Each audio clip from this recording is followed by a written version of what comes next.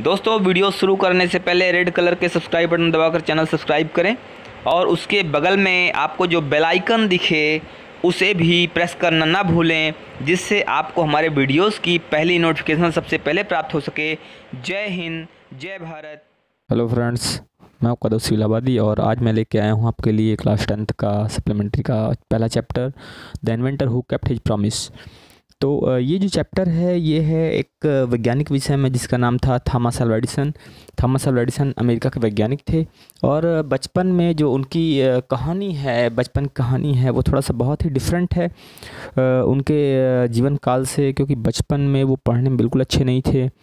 लेकिन फिर भी उनके जो माता पिता थे, वो उनको बहुत सपोर्ट करते थे और जब एक बार की बात है कि एडिसन स्कूल गए हुए थे थॉमस एल्वा एडिसन ने अपने एक टीचर से क्वेश्चन किया कि चूँकि टीचर चिड़िया विषय उसको समझा रही थी क्लास को तो थॉमस एल्वा एडिसन ने अपने टीचर से क्वेश्चन किया कि मैडम ये बताइए कि जैसे चिड़िया उड़ती हैं तो आपने बताया उनके पंख होते हैं, लेकिन पतंगों कोई पंख नहीं होते, फिर पतंग क्यों उड़ती है? क्योंकि टीचर ने बताया था कि पतंगे जो पक्षी होते हैं, पक्षी इसलिए उड़ते हैं क्योंकि उनके पंख होते हैं। तो थॉमस एडिसन के दिमाग में एक क्वेश्चन आया कि अगर पक्षी के पतंग पक्षी के पंख होते हैं तो वो उड़ती हैं, लेकिन पतंगों पंख नहीं पंख नहीं होते। तो फिर पतंगे कैसे उड़ पाती हैं? तो ये क्वेश्चन आने पर उन्होंने इस क्वेश्चन का जवाब अपने टीचर से पूछा। टीचर को ये बात सुनकर गुस्सा आ गई। उन्होंने कहा कि लड़का बेवकूफ़ है और इसके पास दिमाग नहीं है। उन्होंने उन्होंने एडिसन के माता पिता को एक लेटर लिखा और कहा कि लड़का आपका बेवकूफ़ है और यहाँ पढ़ने के लायक नहीं है, आप इसको ले जाओ। एडिसन के माता पिता जानते थे कि लड़का बेवकूफ़ नहीं है, वास्तव में लड़का बहुत बुद्धिमान है।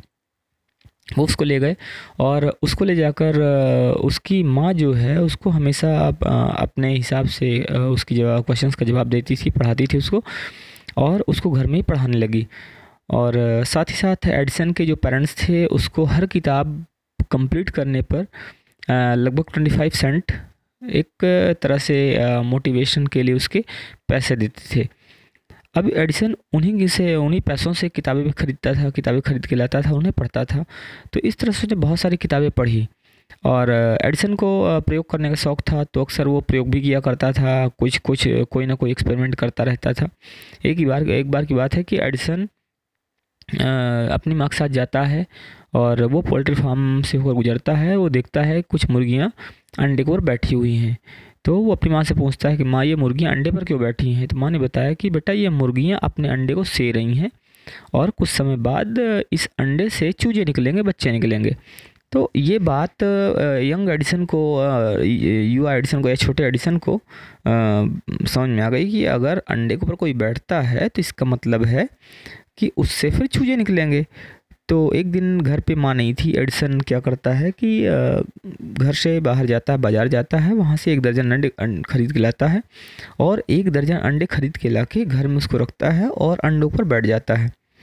अंडों पर काफ़ी देर तक बैठा हुआ था तब उसकी माँ जाती हैं और वो पूछती हैं, बेटा, क्या कर रहे हो? तो एडिसन बताता है कि मैं अंडे से रहा हूँ। जब वो खड़ा होता है तो सारे अंडे फूट चुके होते हैं और उसकी पैंट ख़राब हो चुकी होती है और इस इस तरह से उसकी काफ़ी पिटाई भी होती है। ऐसे ही एक दिन की घटना है कि एडिसन ने देखा कि एक चिड़िया आई ज़मीन पर, उसने कुछ कीड़े उठाए अपने चोच में और उसको दबा के उड़ गई।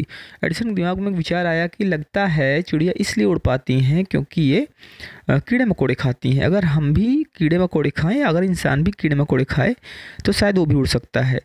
तो उसने एक प्लान बनाया। प्लान के तहत उसने क्या किया कि उसकी जो नौकरानी थी, नौकरानी की बेटी वो घर पे थी तो उसने उससे बोला कि क्या तुम उड़ना चाहती हो? नौकरानी बोली, नौकरानी की बेटी बोली हाँ उड़ना चाहते हैं। उसने कहा, ठीक है, इसके लिए तुमको कुछ नहीं करना है। मैं एक पेय पदार्थ बनाता हूँ, एक पीने वाला पदार्थ है, तुमको उसको पीना होगा। अगर तुम उसको पी लेती हो, तुम निश्चित रूप से उड़ पाओगी। तो उसने क्या किया कि छोटे छोटे जो कीड़े मकोड़े होते हैं, सारे कीड़े मकोड़ों को इकट्ठा किया, इकट्ठा करके उनको पल्प करता है बिल्कुल कूट के उसको चटनी बना लेता है और उसको फिर एक गिलास पानी में घोल के उसको पिला देता है। वो लड़की उड़ी तो नहीं, लेकिन कहीं ना कहीं बीमार पड़ गई और उसको फिर डॉक्टर से इलाज करवाना पड़ा। और इसके लिए भी एडिसन को अपनी माँ से बहुत फटकार मिली। तो इस तरह से एडिसन कुछ ना कुछ एक्सपेरिमेंट करता रहता था। उसके बाद उसने बहुत सारे एक्सपेरिमेंट भी किए। उसने एक ग्रामोफोन का आविष्कार किया। फिर उसने और बहुत सारे मोशन पिक्चर कैमरा का आविष्कार किया। बहुत सारे उसने आविष्कार किए। लेकिन एडिसन का विचार था कि हमें दुनिया को ऐसी चीज़ देनी है जो कि डिस्ट्रक्टिव ना हो, विनाशकारी ना हो। इसलिए एडिसन अपना काफ़ी समय, प्रयोगशाला में बिताता था। उसने अपने छोटी सी उम्र में अखबार निकालने का भी काम शुरू किया था और उसने छपाई की मशीन भी खुद ही खरीदी हुई थी और मालगाड़ी के डिब्बे में उसने छपाई की मशीन लगा रखी थी। अब वह ज़्यादा पैसा कमा पा रहा था और एक दिन प्रयोग करते समय ट्रेन अचानक मुड़, मुड़ती है और जैसे ट्रेन मुड़ती है तो फास्फोरस का एक टुकड़ा नीचे गिर जाता है और ट्रेन में आग लग जाती है और इसके बाद से उसका जो ट्रेन का सफ़र था या ट्रेन का जो प्रयोग था उसमें जो उसकी लेबोरेटरी थी, वो सारी बंद हो जाती है। एडिसन ने विचार किया था कि हमें दुनिया को कुछ ऐसा देना है जिससे कि दुनिया हमें हमें लंबे समय तक याद रखे और दुनिया विनाश ना हो, किसी व्यक्ति का किसी तरफ़ नुकसान ना हो। और इसके लिए एडिसन ने प्रयोग पर प्रयोग करना जारी रखा। उसने लगभग 1200 के आसपास असफल प्रयोग किए और उसने दुनिया से वादा किया, उसने अपने लोगों से वादा किया कि आने वाले समय में आपको बिजली का बल्ब दूँगा, जिससे कि जो अंधेरा है वो दूर हो जाएगा। और उसके लिए वो लगातार प्रयोग भी करता रहा।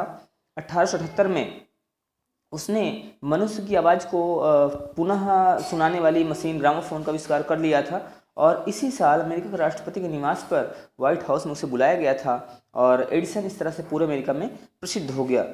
इसी के एक साल के बाद मीन्स लगभग अट्ठारह में ही वह अपना जो बिजली का बल्ब था, उसको बनाने में भी सफल हो गया। और प्रथम विश्व युद्ध के दौरान भी उसने लगभग 40 युद्धोपयोगी आविष्कार करके देश की सेवा भी की थी। और इस तरह से एडिसन ने विश्व को प्रकाश दिया और हँसी देकर अपना वायदा पूरा किया। और इसीलिए इस जो चैप्टर का नाम है, वो रखा गया। The inventor who kept his promise. दोस्तों ये एक्सप्लेनेशन आपको जैसी भी लगी हो, आप हमें ज़रूर बताइएगा। आप हमें कमेंट के माध्यम से अपनी बात बता सकते हैं। और अगर आपको अच्छा लगा हो तो इस चैनल को लाइक कीजिएगा, सब्सक्राइब कीजिएगा और शेयर कीजिएगा, ताकि ज़्यादा से ज़्यादा लोगों तक इसका लाभ मिल सके। और हम आगे भी आपसे ऐसे ही वीडियोज़ के साथ मिलते रहेंगे। मैक्सिमम चीज़ें आपको हम कवर करने की कोशिश करेंगे। तो जैसा भी हो आप हमें अपने कमेंट के माध्यम से हमें उत्स प्रोत्साहित करते रहिए। जय हिंद, जय भारत, मिलते हैं नेक्स्ट वीडियो में। हेलो फ्रेंड्स मैं आपका दोस्त इलाहाबादी और मैं लेकर आ रहा हूँ आपके लिए ट्रिकी एवं डिस्क्रिप्टिव इंग्लिश की फ्री कक्षाएँ। हाँ फ्रेंड्स ये जो कक्षाएँ होंगी ट्रिकी एवं डिस्क्रिप्टिव मेथड से होंगी और ये कक्षाएँ टोटली फ्री होंगी, जो कि सैटरडे एवं संडे को जय महादेव अकेडमी में चलेंगी। जय महादेव अकेडमी मुंडेरा में, सैनिक पब्लिक स्कूल में है। सैनिक पब्लिक स्कूल में, मुंडेरा में आपको ये कक्षाएँ शाम के समय उपलब्ध होंगी। तो जो भी फ्रेंड्स यहाँ पर फ्री कक्षाएँ प्राप्त करना चाहते हैं, वो जल्द से जल्द आके अपना रजिस्ट्रेशन वहाँ पे करवा लें, क्योंकि ये जो भी क्लासेस होंगी ये पहले और पहले पाव के आधार पे होंगी।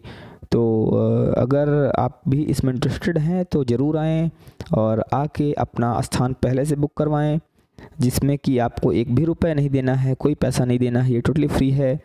जिसमें आप हर तरह से TT SSC bank railway airforce navy हर तरह की एग्ज़ाम्स की जो इंग्लिश की ज़रूरतें हैं, वो आपको पूरी हो पाएँ।